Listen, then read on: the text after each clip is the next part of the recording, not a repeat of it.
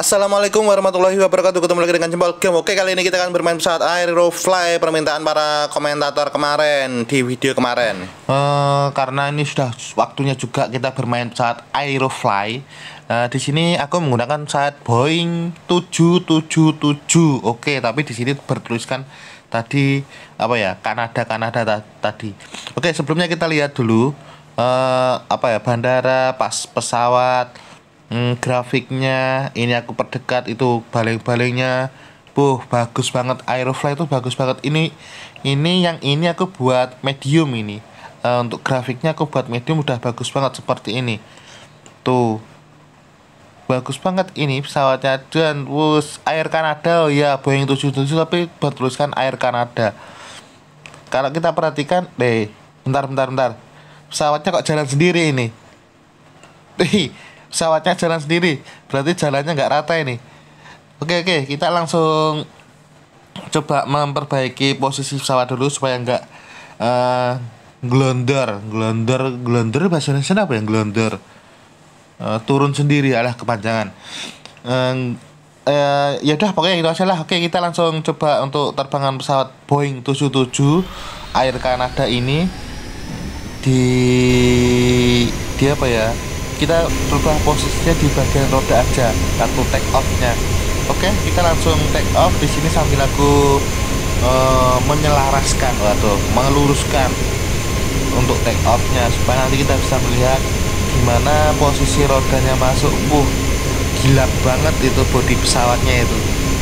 Oke ini sudah take off. Enak bagus sip. Langsung kita masukkan rodanya. Set. Oke. Mantep banget Wus, wih ini aku juga tak perhatikan ini apa ya? Sayapnya dan panjang banget itu oke oke oke. Kita langsung penerbangan pesawat Boeing 77 kita sambil melihat grafik-grafiknya ini. Dan aku juga belum pernah mendaratkan pesawat pesawat Boeing 77 di aplikasi Aerofly. Karena masih bingung bagian brake itu mana ternyata bagian brake itu eh, tenaga dorongnya itu kita tarik ke bawah itu ada brake ternyata. Tuh baru tahu aku. Oke kita di sini coba kembali lagi ke landasan tadi untuk eh, apa itu? Mencoba mendarat. Tapi sebelumnya aku coba pakai autopilot ini.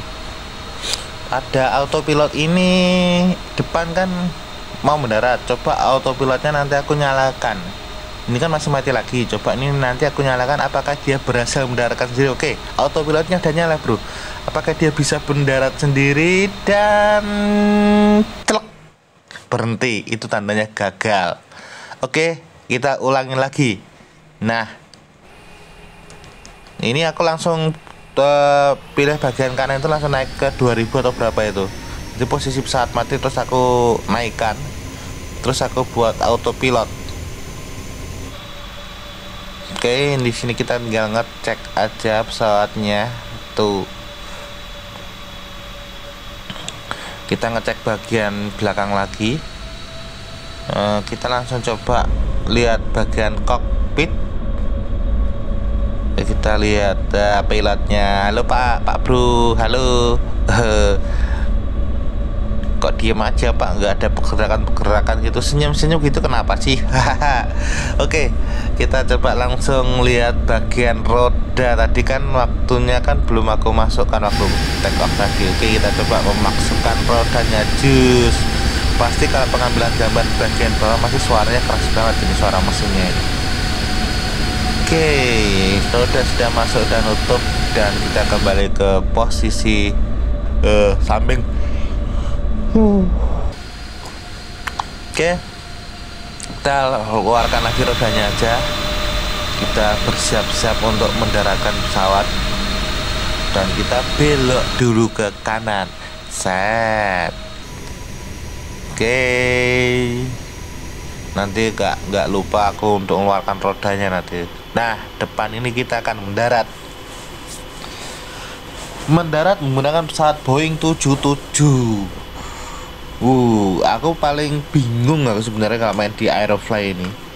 Karena apa? Nggak ada replaynya. Aku nyari nyari replay tuh bagian mana? Nggak ketemu ketemu ini. Kalau ada real playnya tuh tolonglah sebelah mana itu. Terus aku juga cari tutorial di anu juga nggak ketemu. Oke kita mendaratkan pesawat di sini. Apakah berhasil dengan mulus? Set. Des Tuh, bagus. Raketan miring tapi mulus. Tenaga dalamnya aku tarik ke belakang. Suaranya poras suara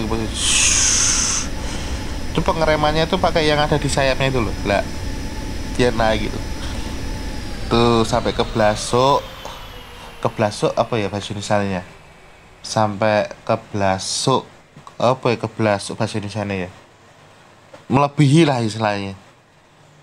Oke udah berhasil. Oke kita ulang lagi terbang uh, menggunakan pesawat Boeing 77 di sini. Nanti waktu take off-nya itu posisinya itu deket banget terbangnya itu dengan landasan. Uh, kita perhatikan aja di sini. Oke aku paskan dulu luruskan dulu. Nah di sini kalian bisa melihat nanti pesawatnya waktu take off itu posisinya deket banget sama apa ya terbangnya itu deket banget sama landasan. Dan ini aku awal-awalnya sebelum bermain pesawat yang tadi ini aku nggak tahu ya namanya break itu belum tahu ini. Oke yuk deket banget kan tuh naik. Oke aku buat autopilot langsung di sini. Kita langsung lihat bagian roda masuk soal tuh ini kamera dari depan. Kita lihat di depan uh, bagian atasnya. Lalala besar banget Oke, ini pesawat ini uh, akan aku buat apa ya tampilan-tampilan dari sebelah-sebelah itu uh, depan, samping, kaca, apalah pokoknya. Ini aku awal-awalnya tombol-tombolan ini aku pendat biar biar tahu itu di awal-awalnya. Sebelum aku main pesawat yang tadi terus di sini lucunya nanti waktu pendaratan wow sayapnya lentur banget seperti real. Jadi kalau pendaratan ada hentakan itu sayapnya goyang. Terus hentakannya terlalu keras sayapnya bisa patah. Tapi di sini belum pernah aku coba. Kalau di sini bisa patah enggak sayapnya ya juga karena nggak tahu. Karena waktu mendarat aja gagal itu aja langsung kameranya berhenti. Enggak enggak enggak diteruskan seperti di extreme landing. Kalau di extreme landing itu kan diteruskan. Jadi pesawat gimana gimana diteruskan itu Oke nanti setelah habis aku bermain pesawat Aerofly mungkin besoknya akan bermain pesawat Extreme Landing. Mungkin Tapi aku lihat dulu daftar-daftar video-video yang mana yang belum aku yang lama belum aku mainkan maksudnya seperti itu. Oke di sini pesawatnya sudah mulai berputar balik arah karena berusaha belajar pertama kali bukan pertama kali sebelum video tadi belajar untuk mendaratkan pesawat dan mengendalikan pesawat di sini. Uh, sebelum video tadi ya lumayan aku lancar lah. Oke di sini coba kita mendarat. Tuh gak sampai. Udah kehabisan duluan jalurnya. Nggak mungkin nyampe ini. Jelas ini. Oke kita kita berputar haluan dulu. Eh berputar. Ya berputar haluan Wah, ini aku ngerekodnya di pagi hari ya. Bangun tidur aku ngerekod ini. Oke, di sini kita coba mendarat di sini. Apakah berhasil? Set. Tuh, kemiringannya terlalu miring. Tek, aduh berhenti ini berarti gagal ini. Oke, kita ulangi lagi. Di sini aku nggak take off langsung tapi aku naikkan pesawatnya. Nah, seperti ini kita langsung belajar mendarat. Ya, di sini nih aku belajar mendaratnya. Nah, ini pertama kali aku mendarat pesawat ini tanpa break lihat aja nanti aku tanpa break ini. Tes. Tuh goyang-goyang sayapnya sampai sampai apa ya? Pesawatnya sampai mumbul. Ini aku tanpa break nggak belum paham ini aku. Aku biarkan ini. Tuh masih jalan banget itu. Terus aku cari-cari cari-cari. Iya nggak ketemu breaknya itu waktu itu. Ke pertama kali ini. Iya sampai iya til. Til. Nabrak depan. Mak jeng oke kita ulangi lagi. Kita naikkan lagi lah seperti ini. Terus tenaga dorongnya aku naikkan sedikit supaya untuk pendaratan supaya nggak nggak kelihatan jatuh. Di sini langsung aku coba mendarat. Nah, di sini aku paham baru tahu. Tenaga dorong itu ternyata bisa untuk brake pengereman ya ini aku buat rem jas ya, suaranya keras gitu. Shush. itu aku baru tahu itu. Set langsung berhenti. Tuh sip. Pas di jalannya untuk pas pesawat belok. Oke di sini.